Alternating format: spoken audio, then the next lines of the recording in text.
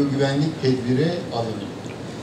Bakın ortaya ne kadar büyük bir ciddi gelişme biyogüvenlik tedbirlerinde alınan e, başarılı sonuçlar çıkıyor.